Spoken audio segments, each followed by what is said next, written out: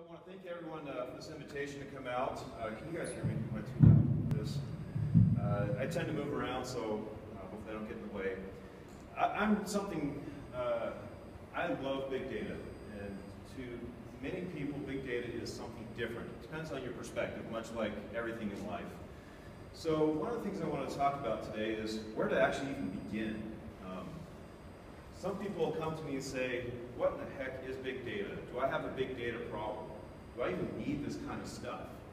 And depending on the situation, the answer is yes or no.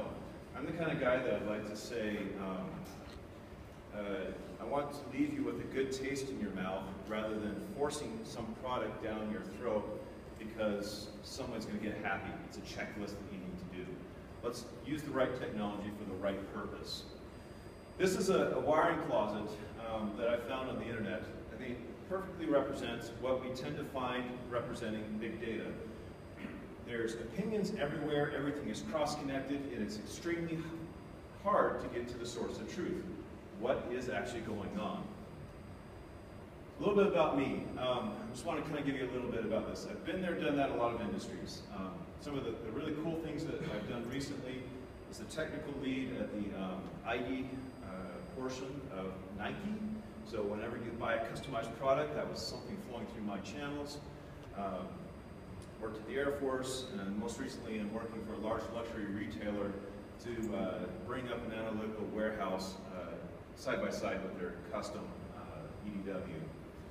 A um, couple places uh, that I want to point you to is the, the bigdatautah.org website, utah.org. We're definitely trying to get the information out there to people. Um, and I want to share everything in my brain.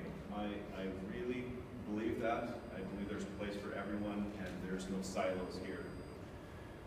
Going back to the spaghetti, I was interviewing a gentleman last week for a position and uh, we were talking about ETL processes. As you know, they're, they're no fun. Um, and particularly in light with big data. And he said, there's a tool out there, Pentaho. Who's here heard of Pentaho? Couple? Okay. He said, just close your eyes, trust me, use Pentaho, you won't regret it. I, that killed the interview for me. Pentaho could be the greatest product in the world. He has absolutely no understanding of what goes on underneath. And this, for the organization that we're hiring for, they had no depth. Um, I was their depth, and I'm trying desperately to put myself out of a job to get other people trained up. But if you rely on these tool sets that are, they're WYSIWYGs, you just drag and drop, and you wire things together, you run into some, some significant problems, which I can talk about uh, later on. That was part of the FUD that's out there. So let's play a little bit of buzzword bingo. Raise your hand if you've heard any of these things, or recognize the symbols. Guys, anyone know that one? Zookeeper. Oh, yeah, okay. Anyone heard of this one? One, one, spark, okay. This one, pig, okay, great. Cassandra, couple, two, probably a little bit more, all right. H-base, one, okay. Uh, hive, uh, okay, couple. Tez, that's a fairly new one, okay. Mahout, somebody called Mahout, whatever you want to call it. And finally Solr. All these things kind of typically fall into the big data realm. Hive would be the SQL interface into the Hadoop ecosystem. Spark would be the real-time analysis. Actually, they're called micro-batches. So they're still doing the batch processing paradigm, but in a micro-batch uh, fashion. Hadoop, Mahout, is the machine learning libraries, and that's actually being phased out.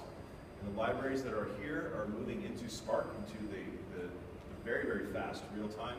HBase would be your, your NoSQL key value store, kind of the same thing as Cassandra.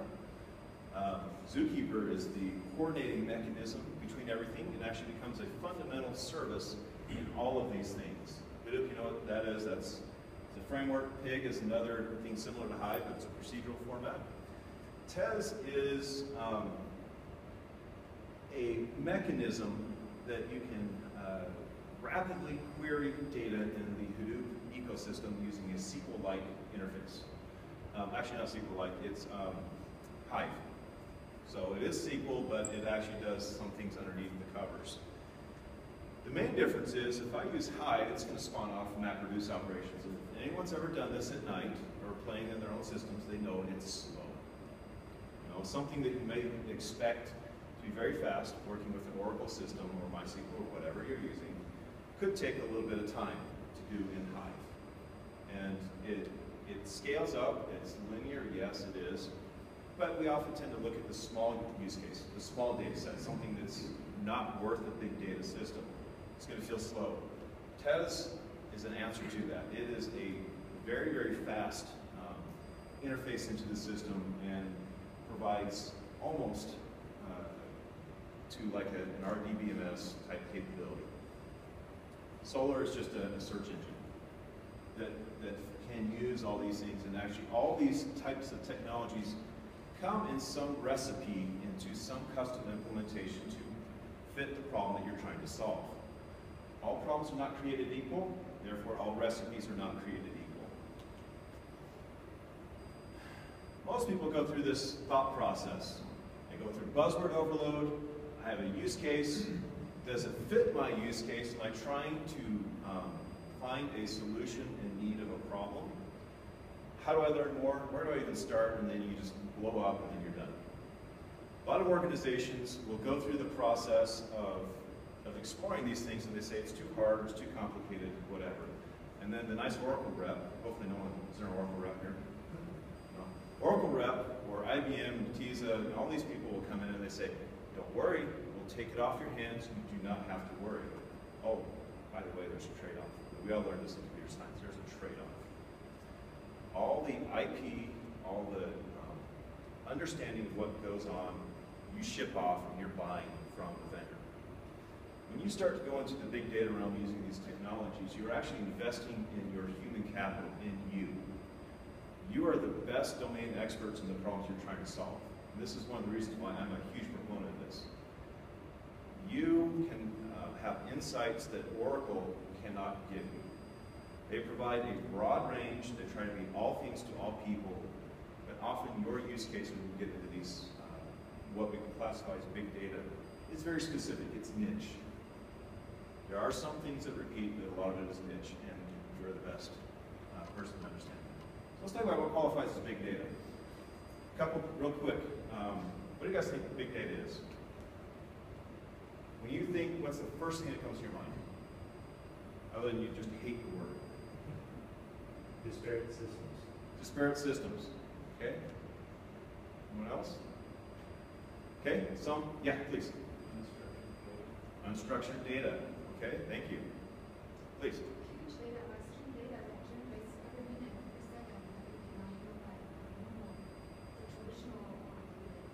Correct. Yep. That's very common. Yep. Anything else? Terabytes. Terabytes. Okay. Um, I. These are all excellent. Anyone else before I move on? These are all excellent. Big data to me is something that's not new. We have been dealing with big data for decades. Um, whether it's the gigabytes, petabytes, or whatever, we often have custom systems and custom solutions to meet these needs.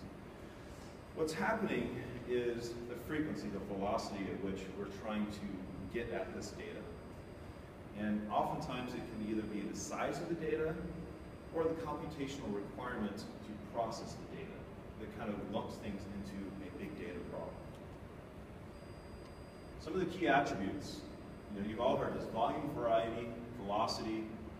Something that's new is novel mashups. Um, this is something that, uh, that hopefully as you start to go down this path, you follow good programming and architectural patterns and say, I have these interfaces. I'm going to build to an interface. I'm going to build a data dictionary. I know how the data is produced. And now I can produce them in a way that's new, in a new way. We can build data processing pipelines. The other thing is expense. Uh, I once went out to Indianapolis for a large email marketing company. Um, they were just buying the Netezza boxes just to stay, to um, keep the executioner off their back. They could not keep up with demand. Now, they told me at the time that was $750,000 a rack. They were just buying them like they're candy. They, they realized at some point that thing will fail and will not get to the point where they need to go. They were going to Hadoop. Hadoop will, and I've seen it scale linearly, um, and it's a rack is not $750,000, I'll tell you that. It's whatever the hardware is, and whatever the capital, the human capital is to get it going. At the very, very core of what we're trying to do, we're trying to produce a query, which is just some function on the large data set. Again, so it's nothing new. But again, but back to the big data aspect, this is often a very large data set, or it's a fast-moving data set. Um, you know, if you're doing windowing functions over time, you say, I want the average uh, of some variable over a 10-minute window sliding forward every five minutes. That exists already. That's been solved. But to do that in a streaming way, um, there's, there's these systems. Anyone heard of complex event processing systems? Okay. These are stream-based systems. So a stream of data comes through, and instead of the old paradigm saying, I'm going to store everything in a big sink, big data, data bucket, and I'm going to run a query against that. Stream of data comes through, and I'm going to run the query against it as it's flowing through. It's a completely different paradigm, so it shifts it a lot. And people are using these techniques. Spark is one of them. Um, there's another one called Storm. They're, they're using these things to solve real-time problems. Some of the things that come to mind are fraud, or creditworthiness, or um, do I expect a failure in my computer system? And I start to see a number of log events that would indicate that I'm going to have a hard drive failure. Or uh, suppose this is uh, one of the people I used to work with, used to consult with the state, um, got hit all the time by uh, DOS attacks or uh, intrusion attacks. One of the things you can do very, very easily with a system like this is um, take a spigot off your firewall, whatever it may be, stream the data across, and you can start to do real-time analysis, say, hey, we're starting to get a 100 penetration attempts from this IP, maybe it's even a region. Shut them down. Put a rule into your firewall, a temporary rule that says shut down. That is something possible, and that falls within the big data realm. Because streaming data sets can be extremely large. I want to introduce you to, to another concept as know, I'm building us up here to start talking about some things. Data lake. Anyone heard of Data Lake before? It's relatively new. Data Lake is a dream of a place with data-centered architecture where silos are minimized, processing happens with little friction in a scalable, distributed environment. Applications are no longer islands and exist in the data cloud, taking advantage of high bandwidth access to data and scalable computing resource. Should be an S there. Data itself is no longer restrained by initial schema decisions and can be exploited freely by the enterprise. Boy, that sounds cool. Um, one of the places I used to work at the Air Force, um, they are silo heavy. You've got Oracle, enterprise licenses, anyone can stand up a database, and they do. And it's a nightmare. You know, from what I used to do as a sysadmin trying to coordinate, it was crazy. This stuff is the dream, and it, it's actually happening couple of thoughts. This came from a, an author that's it's really hard to read. That's a Forbes article. Um, some of the things that come to mind immediately on this is, wow, okay, so if we put the data in a common area, what happens to security? That's usually the first thing people think of. If I put it in here, people that I don't want getting at it will get it. That's a big no-no. Um, what about data lineage? How do I track how the data got in there? Who manipulated it? Did, did whatever to it? Um, okay, so if you're familiar with Hadoop, another concept is it's read, uh, sorry, write once, read many kind of operations. Now in a traditional transactional processing system, that's a killer. You cannot do that with just Hadoop by itself. You can with something like Cassandra or HBase, but it's not for Hadoop. But ultimately, everything flows down into this big data lake, and that's where we want it to be. Now, uh, schema decisions. Uh, anyone ever had something called schema migration headaches? Anyone ever experienced that? Okay. Mind telling me real quick? I mean, whatever you feel free, feel fine to share. What what happened? Um, we were looking for the slices,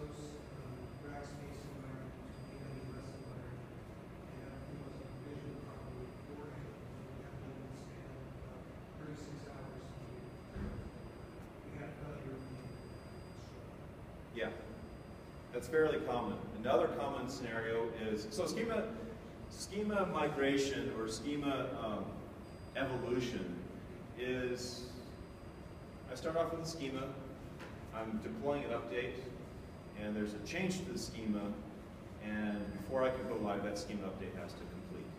In these large systems, that can be a very expensive process in terms of time, walk-off time.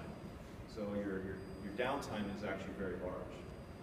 One of the projects I worked on for this, this retailer takes Omniture data. And our Omniture data, if you're familiar with Clickstream Omniture data, that's anytime you do anything on the website, they're getting tracking, they're getting a, a, a hit on the system. Millions and millions of hits a day. Over, over their retention period, that equates to many, many terabytes of data.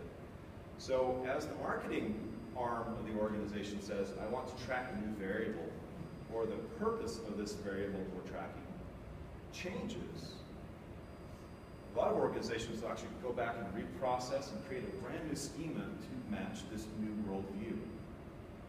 Very, very expensive and very, very time consuming. Big data, some of, through some technologies, Avro, if you're writing down buzzwords, Avro is an excellent tool that you can have multiple schemas exist, coexist, without rewriting your data. Very, very powerful. That's what we do. We start off with 150 columns. Today we're at 450 wide on our tables, very, very large, and there's millions, actually probably billions of, of rows long now. And everything coexists very, very well. So another aspect of big data, this is coming from one of my friends, Dave Wellman, you may have heard of him in the community. It's not about size of the data, it's about the value of the data within, or within the data. So I know you're going to hear in just a second that, um, and I'm a firm believer of this too, we can implement all these technologies, we can have lots of blinky lights on all these racks, but until they actually solve a purpose, they're just blinky lights, they're just something to impress your geek friends. You actually have to have actionable data at the end of the day, something that you can go to somebody and say, I'm willing to pay a dollar for that. So this is what every data head wants, right? So this picture of a Google data warehouse. Um, uh, actually should have said it's my basement, but, right? But, you know, I look at that and I think, you know, that's, that's really well organized. I see um, consistent coloring. It's kind of the, hard to see here, but, you know, there are power drops on a periodic interval. Everything is nicely laid out. I can roll a rack, uh, a crash cart down there, and I can fix the system. So what I see is I see uniformity, some nice wiring, it's clean, and it has patterns. As you embark on the big data journey, these are key concepts you're going to want to adhere to. This is good software development process. As you start to throw data in a warehouse, people tend to forget what data is in that warehouse. They tend to apply different patterns of accessing that data which creates brittle dependencies on that data. And then now you have to coordinate, um, you have very, very long development cycles coordinating amongst different teams. I saw that at Nike where um, they set up a war room like this, walls full of 80-inch monitors for a deploy, which we did every two weeks. It took us all night to deploy. We were coordinating amongst teams because our schema that we had in our system at the time was so tied to the uh, order processing system and to the shipment systems that everyone came online for these things. So deployments took two weeks to organize and, and go through, and our development cycle was supposed to be two weeks. So we spun our wheels on it. Really, really bad experience.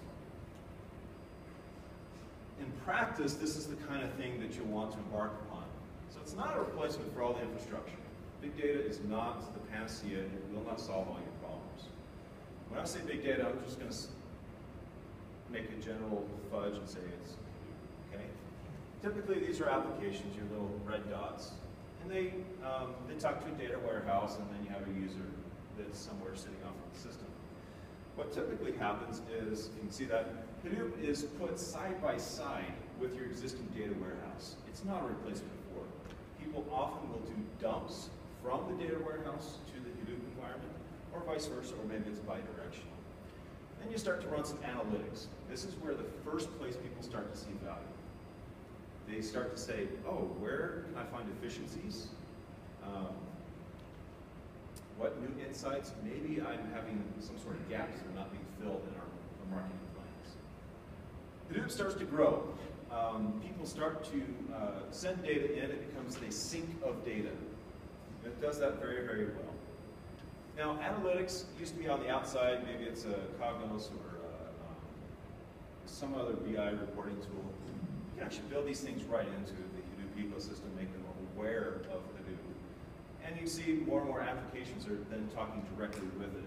And finally, the preferred implementation here, according to this Forbes author, it becomes a large portion, does not replace the data warehouse, because again, it doesn't do well with transactional processing. But it becomes a great sink. So it's, you want a synergistic approach, and you actually want measured growth. No one wants to put a target on their head. Okay, that's the worst thing you want to do. Because I've seen organizations spend up millions of dollars in hardware for Hadoop, and at the end of the day, they have a very expensive conversion between uh, coal to carbon dioxide. They're not producing anything. So the analytics that are driven, this comes from our last big data competition this is a, a, heat map. This is talking about sentiment analysis for a particular product, the greens representing the, the um, identified product and the red representing um, others.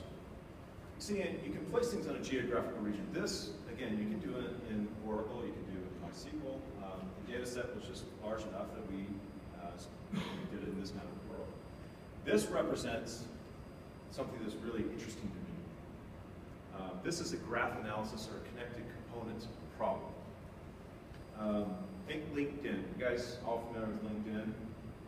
When I was in Oregon working at Nike, somehow they figured out that my landlord and I should be connected even though I had no professional connection to him. Got to my address. It's pretty sneaky, but they're pretty good at connecting people together. This last big deployment that I did with Hadoop um, was to create this connected component. Um, the idea was we take streaming data, such as Omniture, we take point of sale data, we take back-end, other, all the other back-end systems, and we actually try and create a common view of what a customer is. That's, that's something that I had to get my mind around. What is a customer? Aren't they just a record? They're one, two, three, four, five? No, actually, this is, another term for this is 360 or omni-channel. As I'm on my laptop, or I'm on my iPad, or I'm on my phone, I actually represent myself differently to a, a target system. To retailers, this is actually really important because I may look at something at work, I may share it with somebody, I may go home and they may log in, or maybe my wife logs in, but I share the same cookie with, uh, with a system or something like that. They need to start making these differentiating decisions because who I am drives what they want to recommend to me. It becomes a personalization engine. This, this is an interesting problem for, for this retailer. And one of the things I wanted to add, sorry. We'll just leave it there so I won't spend time. If you can remember that graph, that graph, um, some of the pitfalls, some of the things we did. We started off with Hadoop and we were actually required by a third-party vendor to use Hive. Hive is the SQL interface, and it's the only way we could get at our underlying data. Now, that didn't work very well because Hive isn't, it's still fairly new and it didn't have all the advanced features. We started implementing, going down this path, um, and we found out that the processing cycles from start to finish would take over two weeks of a cluster. So that's, for ours, for us, that was 25 machines for two weeks, 100% utilization. That, that was the time to, time to market for that information was way too long. We changed some algorithms. We moved to Pig for some of the things. Pig is more of a procedural, functional language kind of thing, not SQL. And it allowed us to actually drop that time to two hours. So this is something that you will see as you embark into big data. And the reason why I say stay away from something like Pentaho, close your eyes from Pentaho, is if you don't understand what's happening underneath the seams, under the covers, you will run into this mistake and say, oh, it's big data, it should just take two weeks. No, actually, it, it should go a lot faster. So our particular problem, we were doing a group by, and um, we're grouping by multiple columns. In Hadoop, and I'm kind of lifting up the curtain here, in Hadoop, what that really represents is I'm going to create a hash on every single value that I'm grouping by. So not only do I have to manage all these data to flow through the system, now I have to manage all these hashes. I have to shuffle them, I have to sort them and put them in the same buckets. This process was extremely expensive and inefficient. We found a way around this doing custom programming uh, that we introduced that's outside the feature set uh, produced in Hadoop. Um, and we were able to get this down in two hours. So this again is another big uh, point. You are the domain experts. You understand the algorithms. You understand what is important. Um, no one solution fits everything. So Hadoop itself, Hive, Pig, all these things are extensible, meaning you can create your own functions and you can put them into the system. And you get these huge efficiencies and economies of scale. Um, just had no thought, I dropped, lost it here. Um, not worth it. Uh, another experience uh, that we encountered with this is um, we started with a batch model on purpose. Batch model meaning we take all the data, we process 100% of the data every single time. The data is going to be one of your biggest problems as you embark on big data, particularly when I get to the unstructured data or the data that changes. I'm- know they're from Omniture, but Omniture data is extremely messy. Okay, anyone ever dealt with Omniture data? So our marketing people tend to put commas in in uh, some of the values that they send out. So anyone familiar with like an ETL process knows that commas are evil, they're horrible. And so what happened is Omniture would send us a delimited file with commas. And so having an address in there with commas completely messed up the schemas. It's a very common data problem, right? So you have unstructured data or something coming in from a source system that doesn't impose some sort of limitations on structure, and you're trying to suck it in. A good practitioner of this will spend 50 to 80% of their time just getting to know their data on the start. I've, heard it time and time again. Fortune 500 company, I just went to, massive retailer, even bigger than one I'm working with. We know our data. In the very next sentence, oh, our data constantly throws us surprises and we're constantly having severity one alerts. We're up all night trying to solve them. To me, that's a huge data problem. And it's a very brittle system. So what the promise of what we're trying to do is we're trying to decouple things. We're trying to code to interfaces. We're trying to create failure points and safety valves along the way so you can, then depending on business process, you can move forward with the computation or you can stop, but it never fails sight. Okay, enough on that. Um, so that's data analytics. By the way, that, that process, um, it took us um, about a year to get us from start to finish going and up, but we're seeing immediate lift in revenue in, in the millions of dollars range. So it's, it's, it's a powerful tool. We took it slow, we didn't bite off more than we could chew. And again, the world is wide, there are lots of buzzwords. How do you know what that scope should be? And that's just gonna come with knowing your, your business, what your capabilities of your team is, and so forth. The next thing, analysis evolution. Often starts with a statistical analysis. What, why in the world is this happening? Forecasting, you know, what happens if these trends continue, predictive, what will happen next, then optimization. What is the best that can happen? And then you go into the novel mashups. Most people get to Hadoop and they start, they start, start and stop right here. I would actually recommend you start here too, don't skip. This will provide insights into your data sets, again, going back to spending a lot of time with your data, that you hadn't seen before.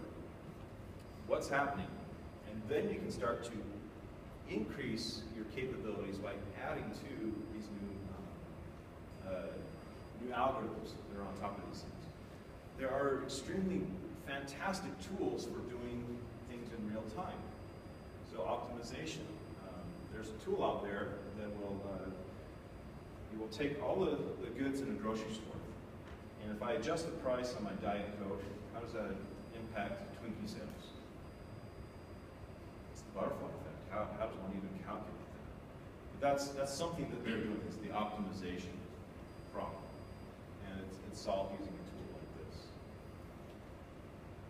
Successful projects, there's clear objectives, there's sufficient time, and I want to get into a little technical thing in my, my allotted time here, so I'm going to go fast. Iterate. Take something, go iterate.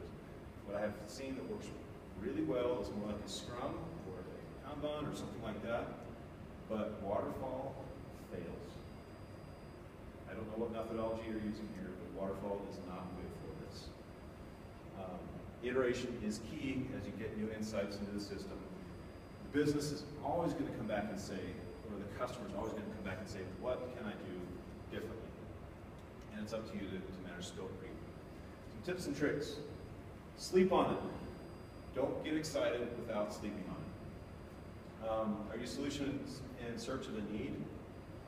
Use the scientific method. Um, I've seen this out there a lot. People are very, very um, used to a prescriptive coding environment. I have a web service, I need to talk to a database. Okay, so what do I need to do? I need to create a, some DAOs, some interfaces, maybe some command patterns, or, you know, it's still fairly well structured. But the data is already structured, it's already there. Scientific method with the big data is, I have a hypothesis. How am I going to test this? How am I going to make this work? What is reasonable? Um, one of the, the, things, and I'll just tell you, if, I, if you ever, ever interview with me, I'll ask, if I have a table full of pennies, and I stack them a meter high, you know, maybe it's a four by eight table. How would I know if, that, if I stacked them all on a single column, that'd be taller than the Sears Tower?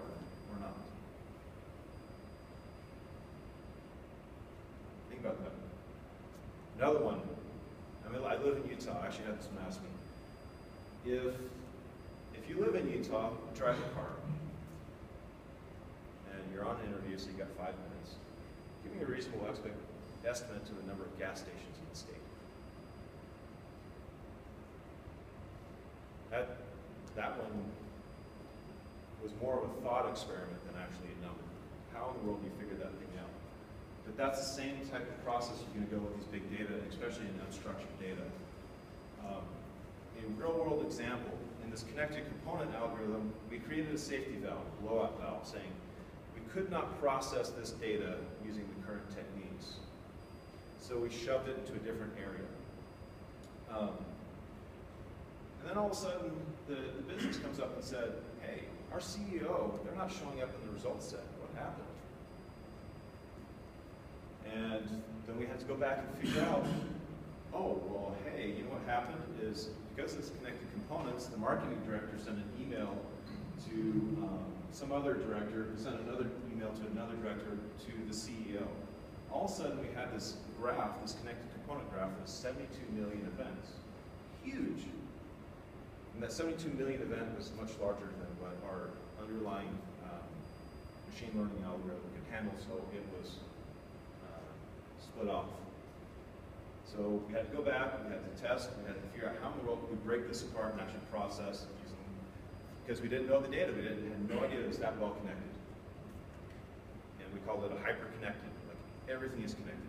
The in and out degrees were many, many thousands per node. Um, another thing that I want to actually talk about briefly is um, you already have existing systems. You guys could use MATLAB or SAS or something existing statistical platform? Maybe R, yeah? Our data scientists use MATLAB, and there are specific algorithms that MATLAB um, uses in Fortran on the system to do a cluster or spectrum clustering kind of algorithm. Hadoop gives you the promise, it's a framework. I can think in single-threaded application. I don't have to worry about distributing everything out. I can think in single-threaded mode. I want this operation to go to this variable, next row, do this operation, and this is the output. I don't have to worry about distributing, I don't have to worry about combining everything back together.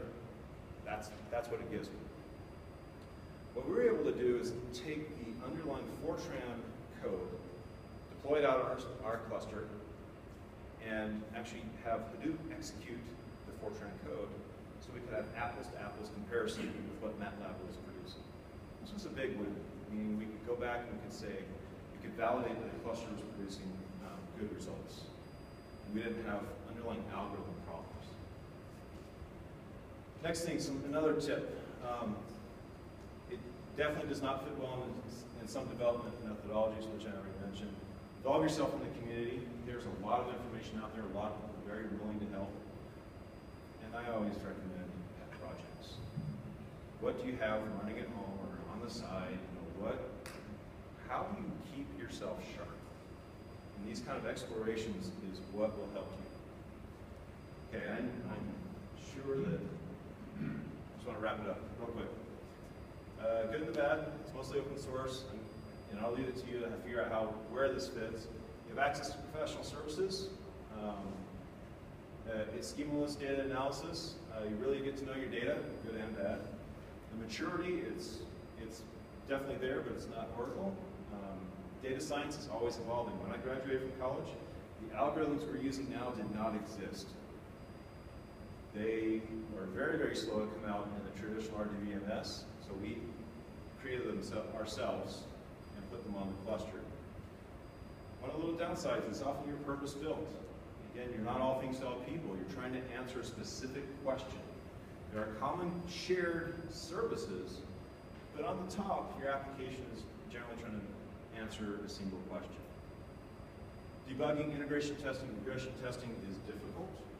That's one of the things that is often last on any uh, team's uh, bucket list. And then you have to have cross-disciplinary involvement.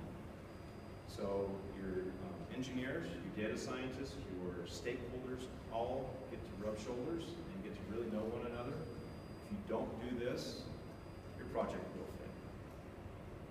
I don't know if this is specific to big data, but I do know that it will fail.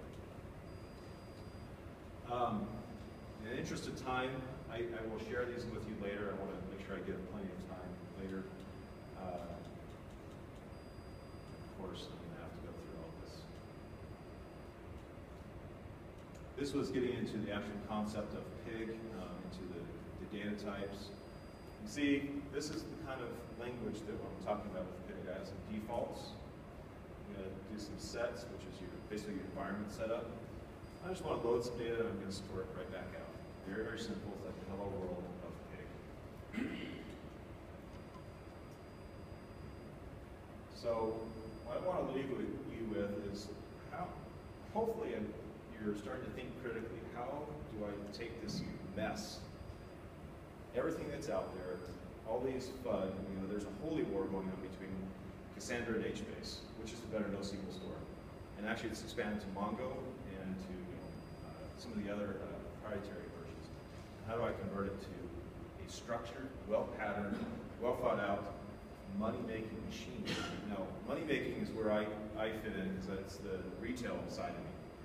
But money-making means it's efficient, it's not a burn on the environment, I will have a job in 10 years because I'm not spending all my money on the hardware. So I'll leave that with Q&A. I want to maybe delay until afterwards to make sure I give her plenty of time. Um, but I will be around if you have any questions. I, am here to answer them, or please come out to any of the meetings. So, okay. thank you very much. Wow, thanks everyone. We uh, we don't have much in common, I have to tell you. I'm actually not sure why I'm a big data analyst. Um, I had to convince myself I deserved it, and I think I managed to. But I I'm a marketing person. And normally, technology people and marketing people don't mix. And so frankly, I've never talked to technology people before, ever. So I'm a little bit, you know, worried that you're gonna throw rotten tomatoes at me, but I promise not to say the word Hadoop, sorry. I really don't care. I don't care what technology you're gonna use.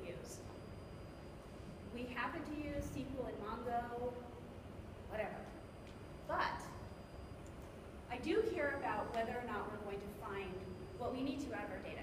And let me just be really clear. One of the things that you can do with big data is take action immediately.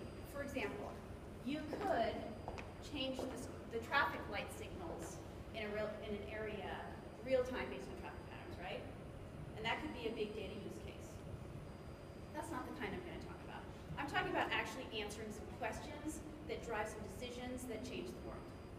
And I do love to change the world.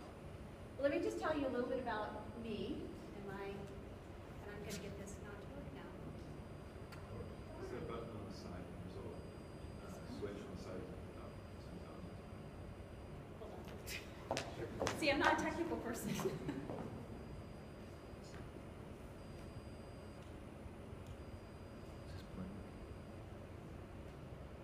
We tried this and it worked fine. Have you ever done that? You try something and then you get up on stage and you're like, uh-oh. Oh, you know work." what? Well, I don't know. It's, I'm sorry, I don't even see, oh, page now. It's not even doing page now. It's not even progressing with the keyboard. All right, one moment. My computer is completely locked.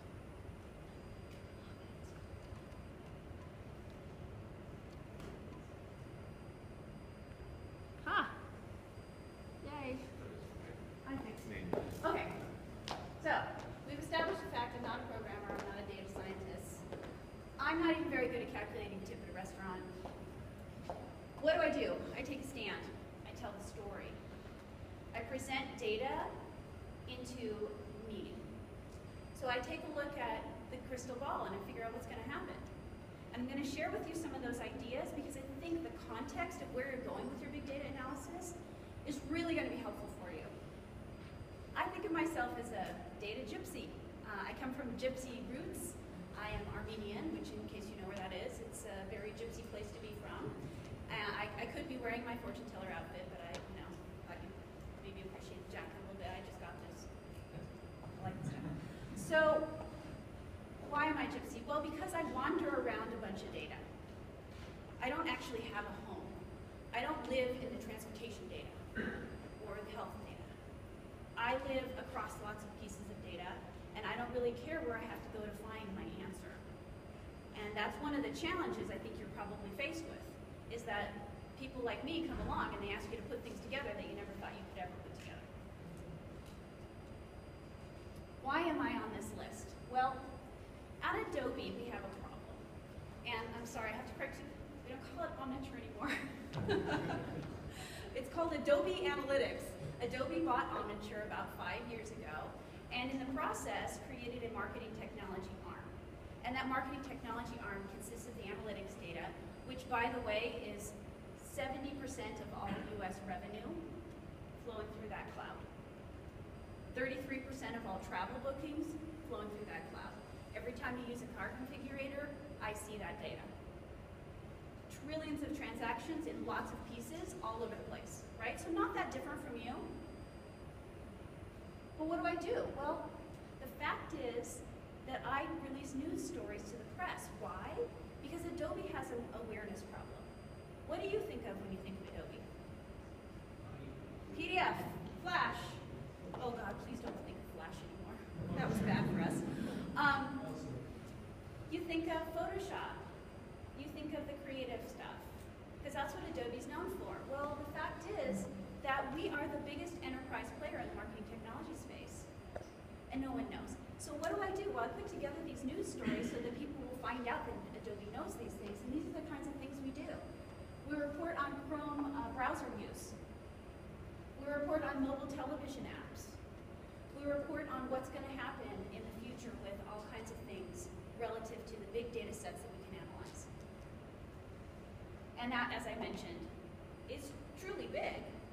But I don't care that it's big. I just care that it actually has predictive value because I'm, I'm actually the storyteller. I'm not really the person who has to deal with the fact that we need lots and lots of boxes to pull all this stuff. I know that some of you are, and God bless you for that, really. Because when it comes to my analysis, if you didn't do what you're doing, I can't do what I'm doing. And it really does take a, a lot of different skill sets, and that's something I'm going to talk about in just a second. But what I'm going to do is I'm going to tell you three stories, all right? And the idea behind these stories is to tell you how they kind of came to be and what we need to do, and hopefully to spark some of your imagination about how you can take some of these examples into your world in whatever department you're in, across different departments, in the technology space that you live in. All right, so here's the thing. I predict that on September 9th, Apple will release phones that have bigger screen sizes. And if I were actually one to play the stock market, and I'm not saying you should, right? Hmm. You didn't hear that from me. I think their stock price will go up because they're going to show that they can recapture some of the value that they've lost. Why do I know that? Why do I think that? Well, the data doesn't tell me this. I made this up. I'm, I'm actually pretty good at making stuff up. Sounds pretty reasonable.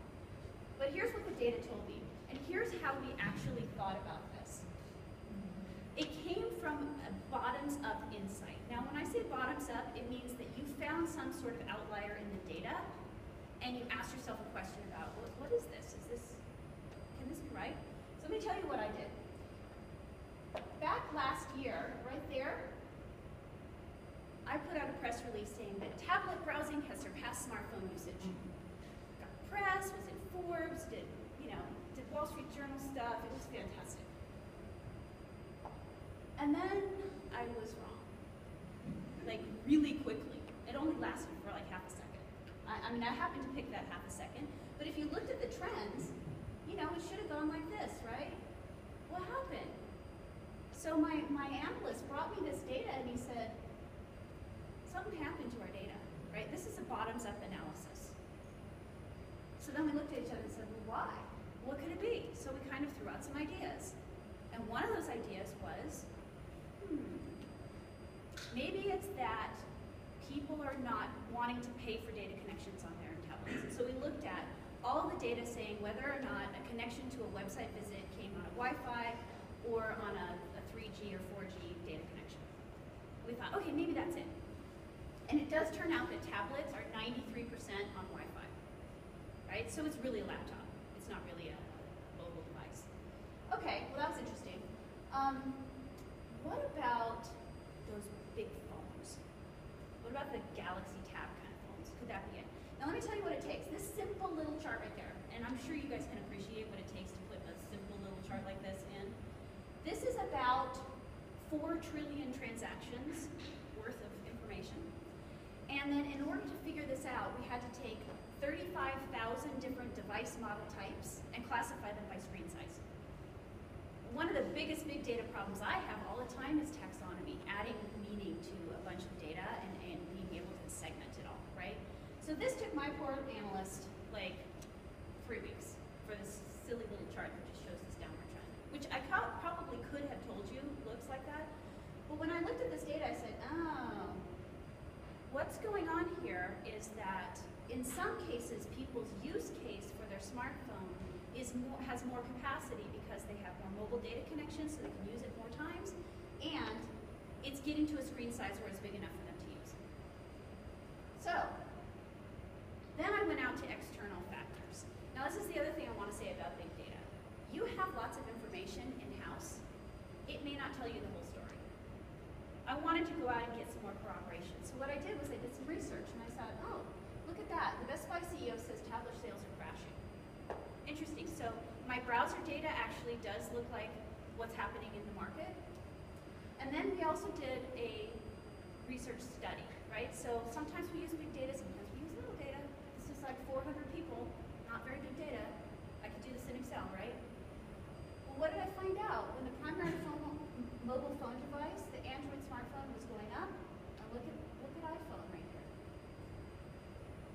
Okay, so now I'm like, all right, I can make the statement that Apple needs to put out a bigger size phone or they're going to be losing market share, and in fact, they're already losing market share, and so that's what's going to happen. That's how this big data analysis turned into a story, which turned into taking a stand. Does that make sense to everyone? Yeah. So, okay, so let's go through another one. This, these are the steps, and I'm going to kind of skip this, but basically, we performed all this research looked at our data, and then we developed a story, and then we gave a point of view. Now let's talk about another one. This is social media data, which I think it may be the root of where big data sort of came from, because social media data was vastly unstructured, right? It's just a lot of text. And all that text data really became difficult for everyone to deal with because what do you do with it when you don't know what you want to do with it? So this happens to be social media mentions analysis that comes from a hypothesis that I made up in my mind, all right? There was no data around to support this. I thought, hmm, self,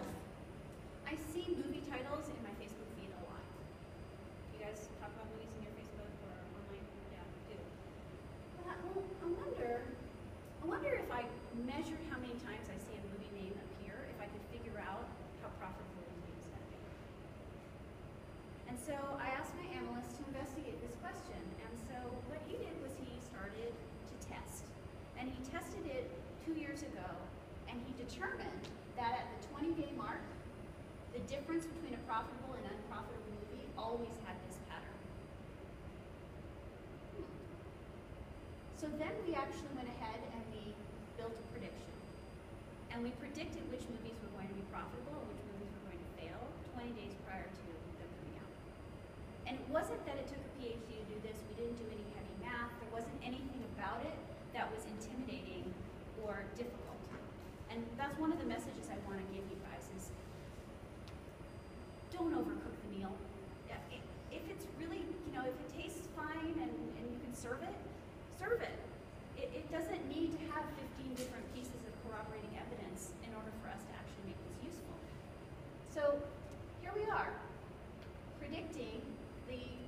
summer box office winners and losers in the Hollywood Reporter.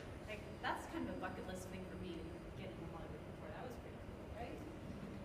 But then this, this whole um, Edge of Tomorrow one freaked me out because everyone who saw it was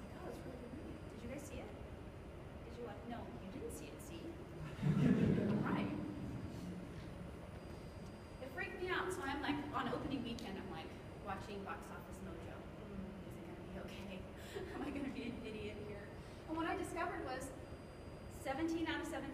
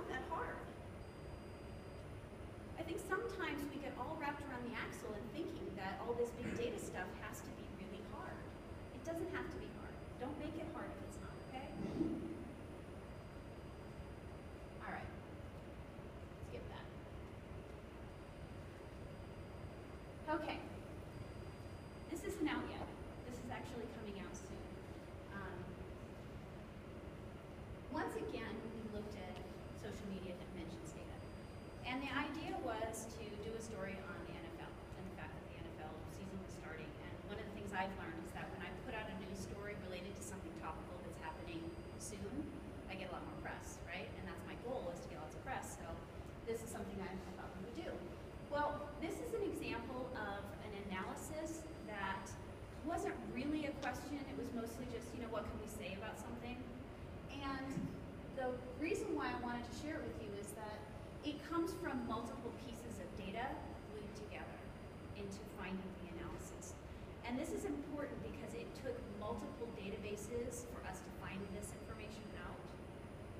And that's sometimes going to be your challenge, right?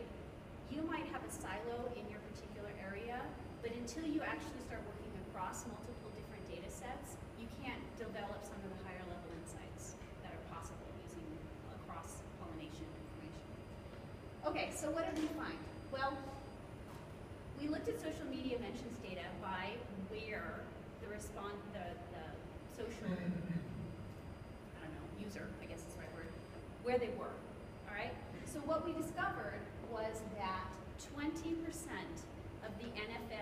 social media mentions were coming from outside the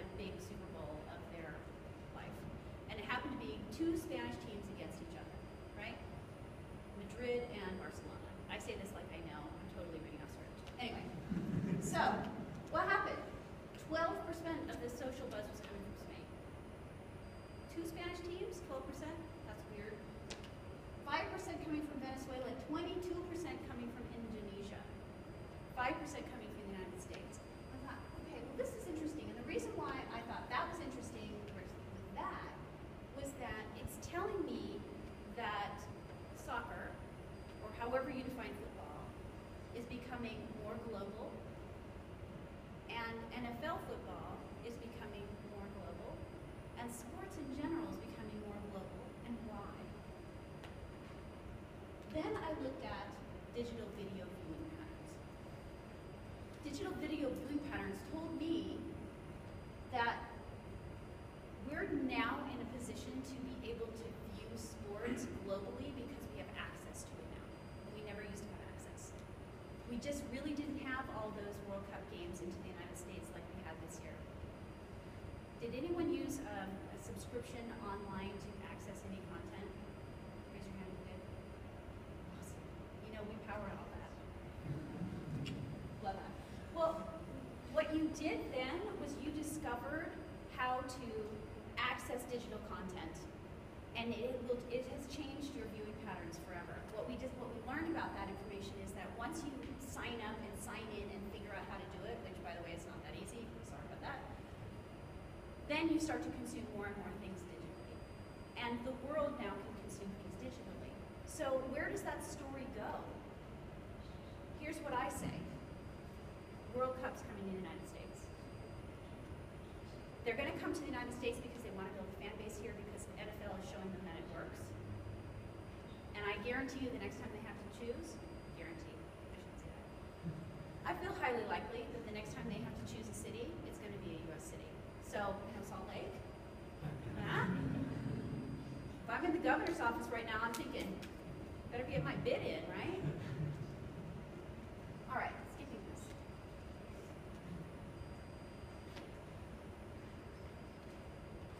This is what I'm getting at.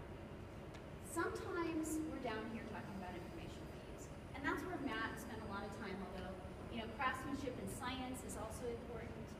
Um, I, I don't get anywhere unless I have access to data, and all of that data has to live somewhere, and it has to be accessible in some way that we can get to it. And that's a lot of the hard work of big data right there.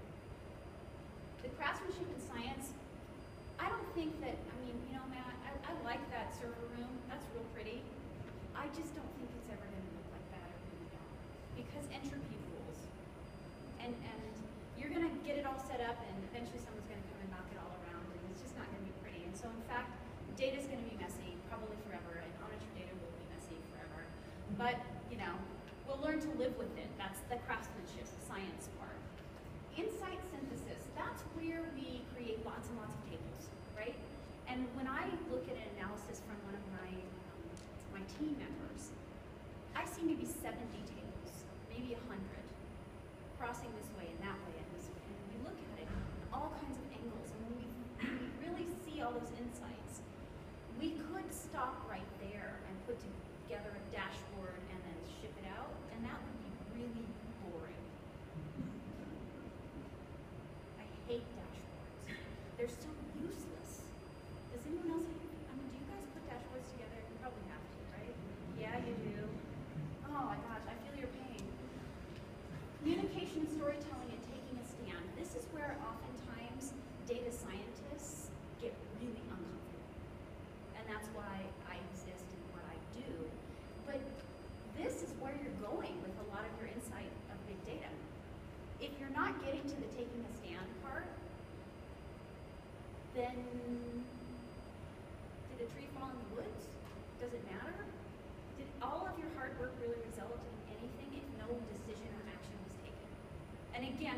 talking about the real-time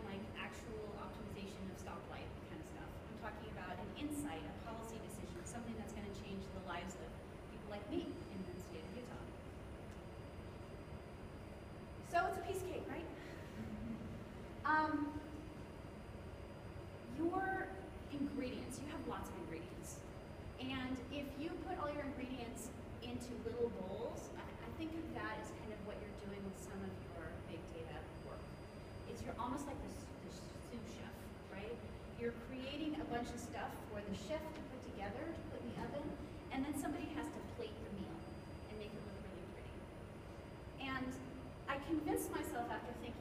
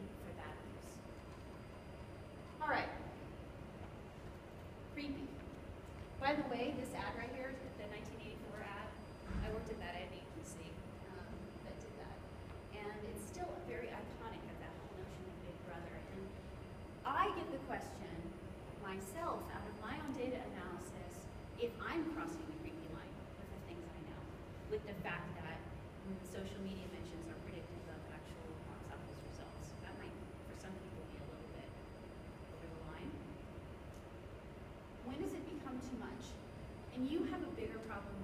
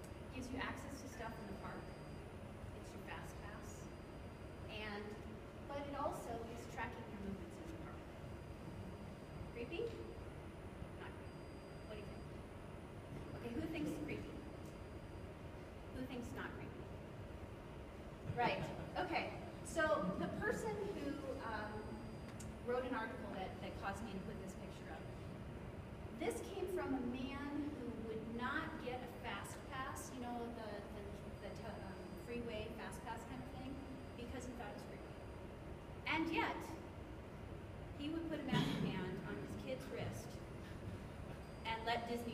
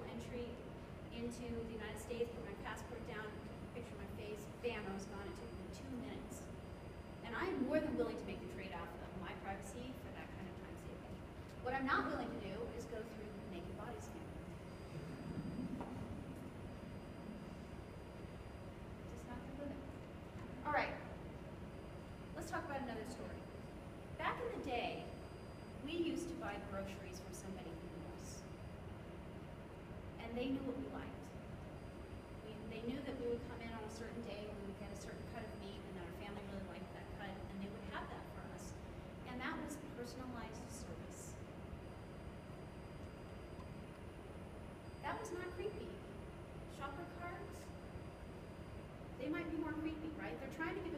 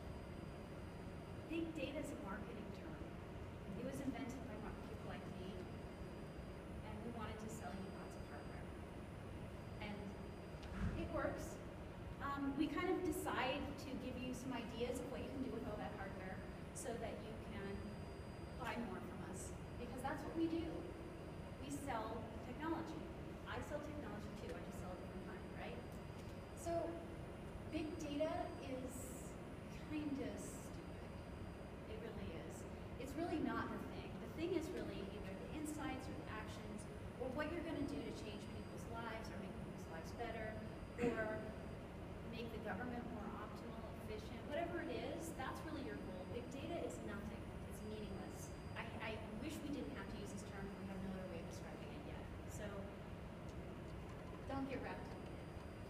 Keeping in mind that in the case that I'm talking about where you're looking for insights. you're looking for about a needle in a haystack, right? A lot of your data is uninterpretable, private, irrelevant,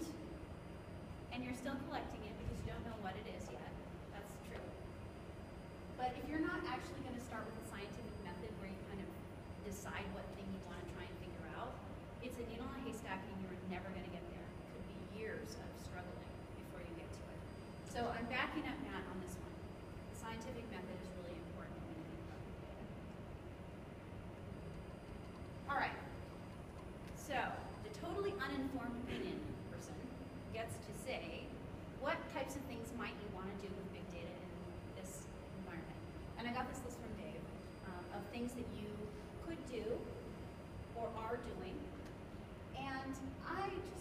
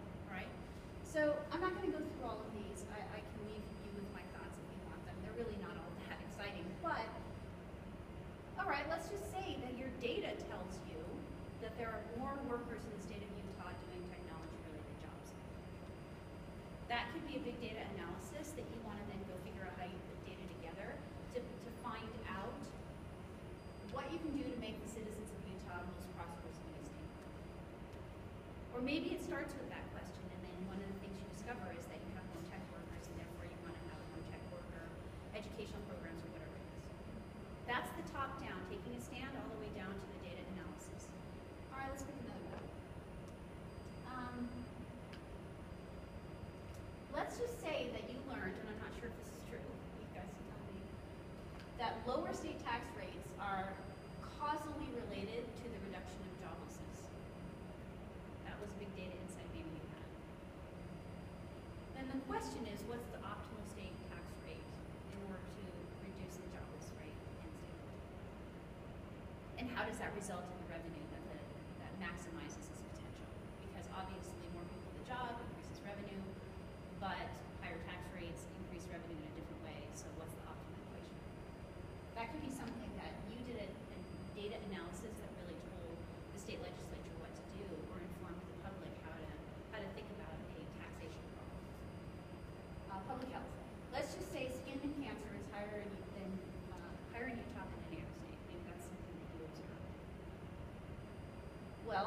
question was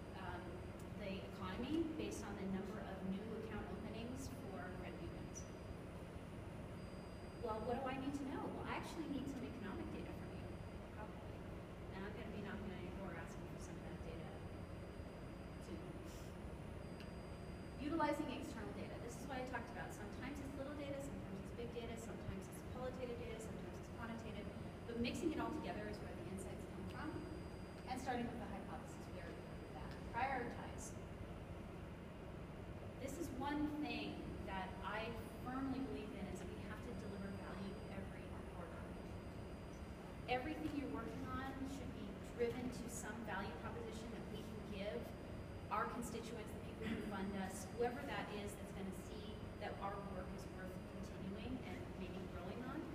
We have to do that every quarter. And that sometimes means that we have to build the car while we're driving it. It's not usually the case that we get a year to build something before we can put out anything.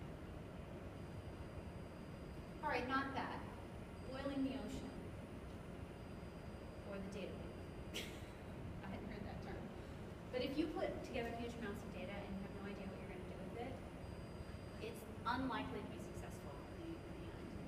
attempting real time, hear this word a lot.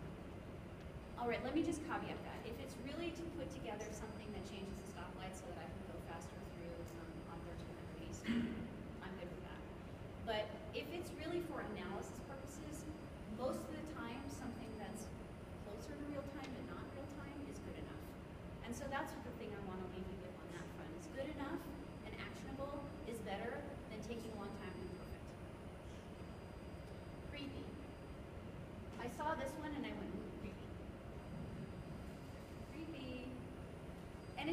value to me, but if I don't believe that it's actually going to work, then it doesn't really have value to me, right? If I, if I think that you guys can prevent me from getting um, mugged in advance because of your predictive algorithms about a particular region, then maybe I'm okay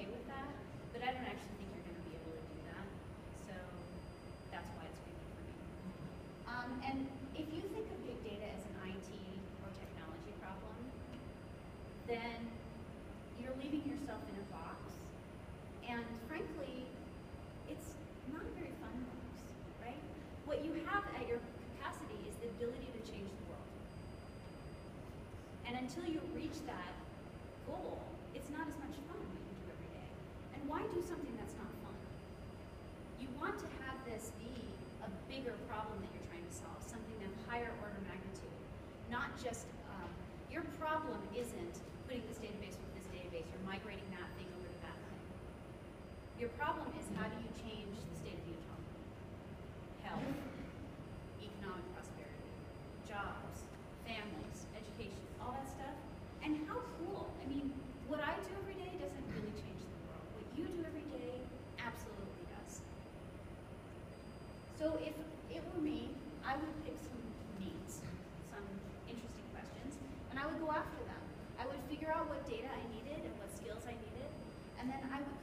vision to answer that question. And I would do that over and over and over again because every time I do it, I learn more about what I'm trying to accomplish rather than trying to